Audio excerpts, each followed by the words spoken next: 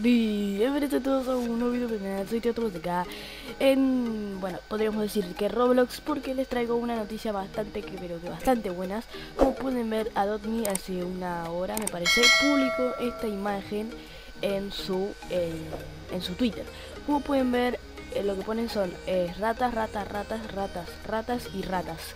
O sea, todo lo mismo, simplemente que cambia las letras o sea, que nos está dando como una pista de que van a sacar unos nuevos, unas nuevas mascotas o unas nuevas, unas nuevas pets que son estas ratas. Eh, posiblemente puedan ser gratis, todavía no se sabe.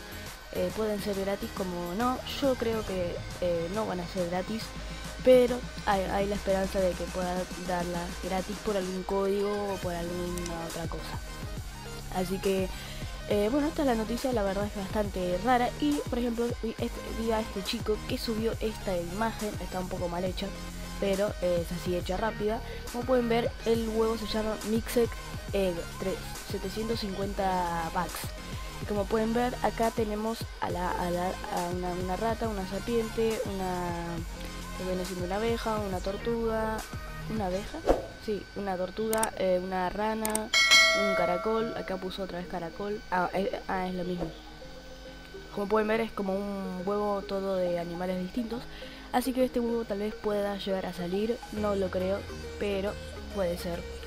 Em, pero bueno, las nuevas ratas no sé cuándo van a salir, supongo que la actualización del viernes, o sea de este viernes. Así que nada, si les gustó mucho este video se pueden suscribir para más y nos vemos en el próximo video. Hasta la próxima, adiós.